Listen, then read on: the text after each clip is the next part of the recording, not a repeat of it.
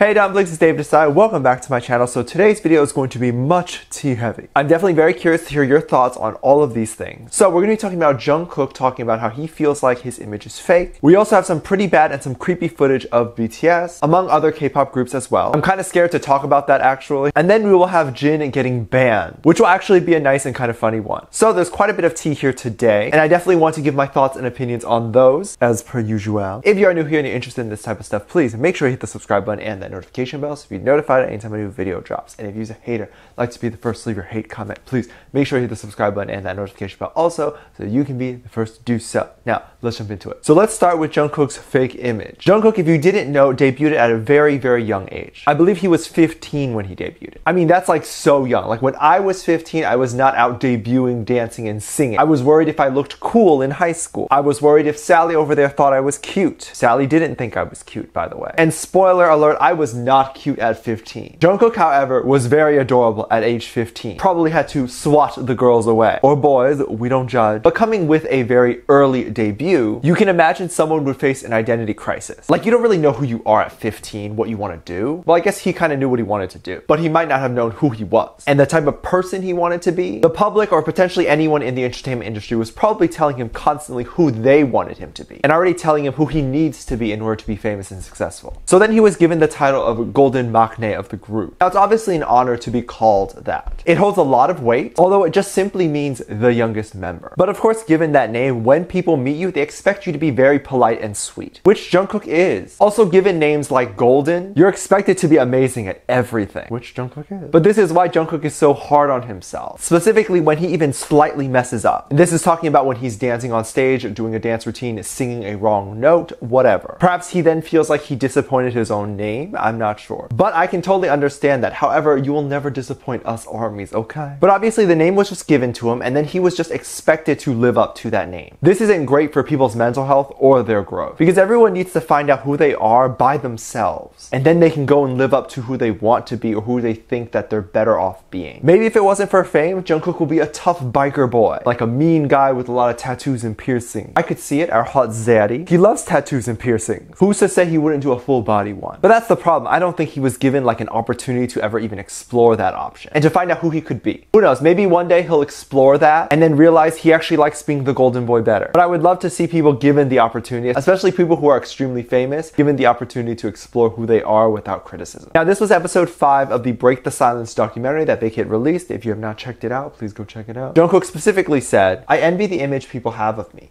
People call me the golden maknae, but that's not how I feel. So I have to try harder to make myself appear that way. So he almost has to compete with what people are saying about him. And then he has to compete with the standards that other people are putting on him. That's a lot of pressure for like a 15 year old. I hope he knows that we expect him to be healthy first and foremost, mentally and physically. And if you can't perform 100% at a specific show, then just don't. Some armies took a lyric from one of his unreleased songs, and they found that that connects to what he had said in this Break the Silence documentary. The lyrics reads, When I see you smile in the screen, you're good at everything. You're just perfect. Feels like I've never been you. And is obviously talking about when he looks at himself on TV. That line cuts deep, cuts real deep. Imagine seeing yourself everywhere and then being like, that's not me. We can look back at Polaroids and things like that and think of how fun that moment was. Jungkook will have moments to look back on years later, but he'll look on TV and he'll say, that's not me. I can't imagine the psychology of someone at that level of fame. Someone who puts that much pressure on himself, tries that hard to do something. I mean, there's a lot of hate online of Jungkook, but the one thing that I don't see is that people saying that he is lazy and he sucks at dancing because that is just not true. Even the haters will admit that ain't true. I definitely wanted to see some of the support online after he said this and after expressing that this is how he feels. The support is always overwhelmingly good when it comes to Jungkook talking about these things. So I definitely want to take a look. One army said this. I envy the image people have of me. It's a year late, but I wish that as time goes by, Jungkook can see himself the same way that fans see him and realize that he deserves to be called the Golden Maknae. I 1000% agree. The only image we see Jungkook as is someone who tries really, really hard and is really kind. And of course, he meets that standard. So there's nothing to worry about. But this is nice to know because every artist, and I mean every artist, experiences something called imposter syndrome, where they don't believe that they deserve the recognition or they don't believe that they're talented as they actually are. I get it because even when I put out a piece of art, whether that's a photograph or a drawing or whatever it is, I see the process of how that was created. I know how I got from point A to point B. So of course I might not see the creative appeal in it just because I made it, you know? So then it takes away from the mystery and the interest almost. Because once you know the exact process, the magic is almost gone. I hope that makes sense. We will obviously continue to support Jungkook whether he's at concerts or not and then record awesome videos of him to share because what he does is indeed cool whether he believes it or sees it or not. We do however need to be very careful with some of these fan cams. There is a fan cam situation going on and it's quite scary. I'm actually very very scared to talk about this. It seems like an entire group of people doing this and it's not like one or two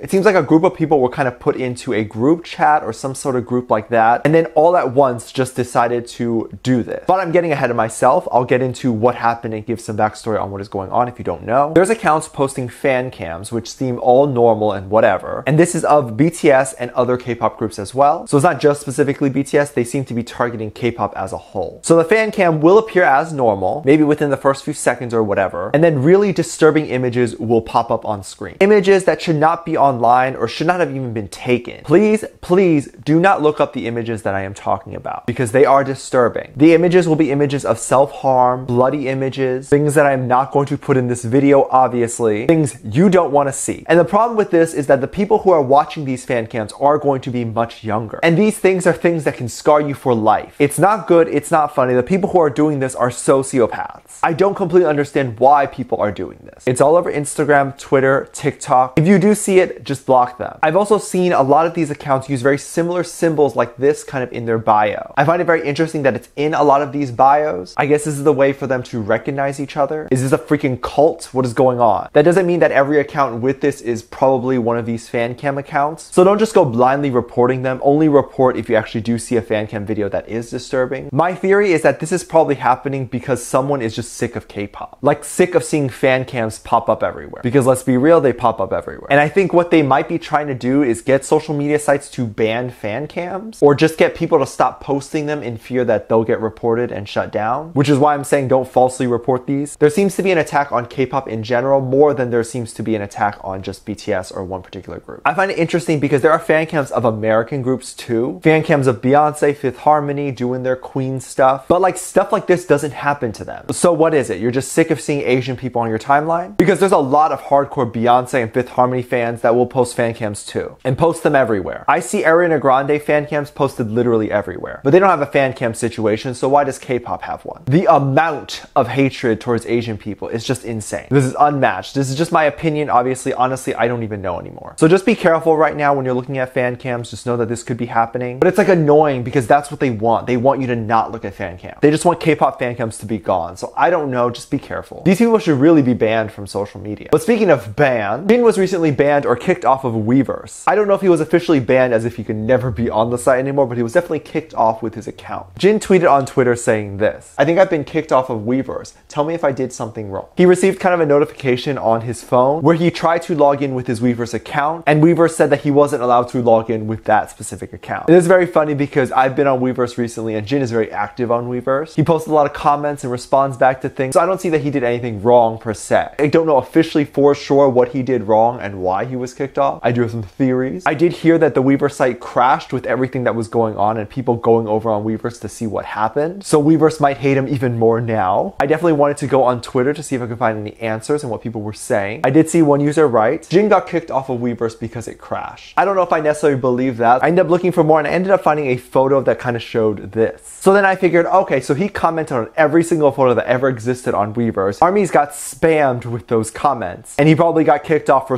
spamming everybody. Also, I don't know the rules for Weverse, but I do know that other social media platforms, if you do comment a lot of comments within a short amount of time, your account can actually get banned because it seemed as spam. So maybe that's what happened with Weverse. So I honestly don't know. This is honestly just my theory and what I think. But Jin, just like email Weverse, tell them what's up, tell them what's going on. They'll be like, it's a mistake. Our sweet Jin deserves to be on it, of course. I think this was hilarious. Let me know what you think about this. Let me know what your thoughts are. Leave it down in the comment section down below. Give this video a thumbs up, subscribe if you haven't already, and I'm featuring this comment right here. Thank you so much for leaving comments. As always, I do have a Patreon if you want to go over to my Patreon and kind of check that out. You can get exclusive content over there, such as music video reactions, performance reactions, ship reactions, all that sort of thing over there. And obviously, if you go over there and contribute anything you can contribute over there, you can help this channel kind of grow and get better and really help me kind of spend more time on making these videos and make them better. So thank you so much for checking that out. I'll leave a link in the top of the description down below so you can check it out. There's also two videos that will appear on the screen at the end of this video, so click on one of those videos and I will see you over there. Bye.